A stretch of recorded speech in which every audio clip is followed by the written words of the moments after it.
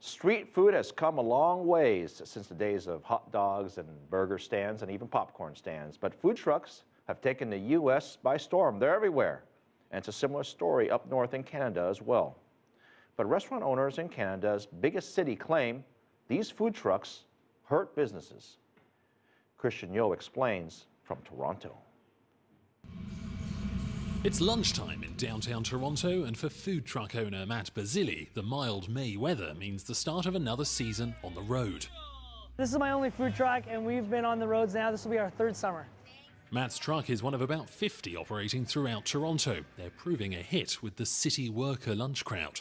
I'm a foodie and I love to try different things and they're easily accessible so if they're nearby at lunch hour it's convenient. They give you something unique that, to try that you won't really get anywhere else. Food trucks tends to be good food. Uh, I like the mix. We get we get at least one or two every single day. So, you know, I'm never eating the same thing. Whether it's pulled pork, grilled cheese, a burrito, or frozen yogurt, it's still fast food, but a far cry from the humble hot dog stand. It's not just easy, cheap, and somewhat edible, somewhat not edible. You know, I think it's about finding you know, a real culinary experience, packaging it in a different way, and making it accessible to people to still eat it on the streets. These trucks have hit something of a barrier if they want to operate curbside near traditional lunch eateries because of new restrictions imposed by Toronto City Hall.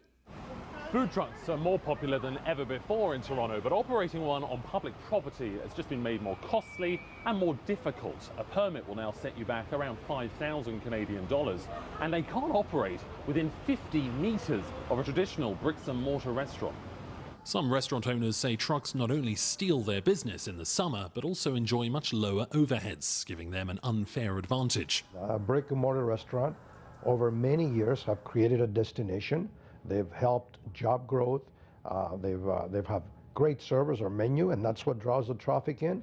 And, and we don't feel that it is fair for a mobile unit that has the advantage of much lower fixed and much lower variable cost to take revenues away uh, from the success of a brick and mortar restaurant.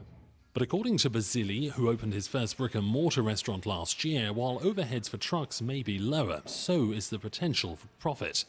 You'll never be able to service as many people on a food truck as you would a restaurant. You can't sell alcohol, and there's a certain price point. Like you really can't sell anything for over 11, 12 bucks because it's a food truck still, right? So there's a lot of limitations. So yeah, you know what, there aren't as many fees associated with a food truck, but you would also never ever see the sales that a restaurant gets. Food on four wheels is shaking up Toronto's already competitive culinary industry. Trucks are becoming a popular way for budding chefs to test their talents and get their brands off the ground. Kristiaan Yeo, CCTV, Toronto.